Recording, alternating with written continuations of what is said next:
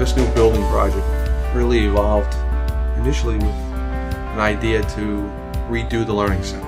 Redo as in bring it up to the 21st century, kind of redo the interior space, almost a rehab. The Learning Center was built in 1992 and it was originally built for employees mainly.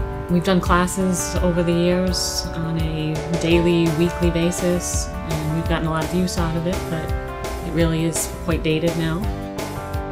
That's like anything else. You start to look at your needs in one particular area. I think what we realized was that what we were embarking on wasn't just uh, new wallpaper and floor in the Learning Center. We were actually touching the heartbeat of the company.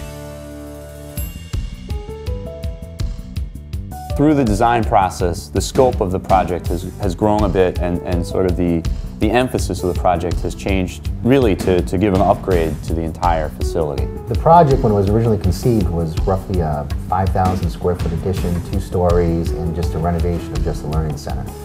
I think Chris and Kyle saw it as an opportunity to become much more than that and almost reinvent or reproject um, who TACO is and where they're going in the new millennium and uh, it just evolved into much more than just a simple renovation and addition project.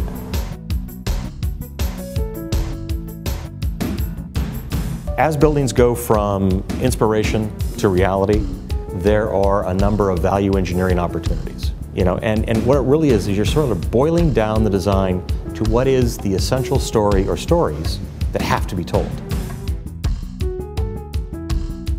It's the story that's based about TACO, its products, its customers, its clients, its employees. Uh, but very important to, to the project uh, is the use of TACO products.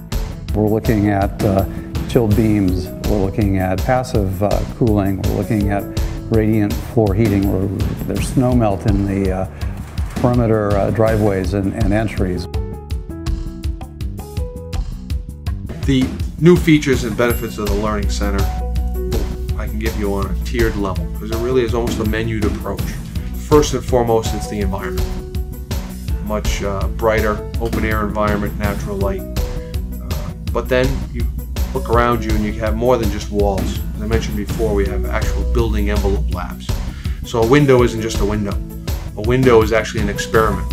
So it's a living, breathing environment, uh, more than just four walls and, and a ceiling. It has its own sort of heartbeat.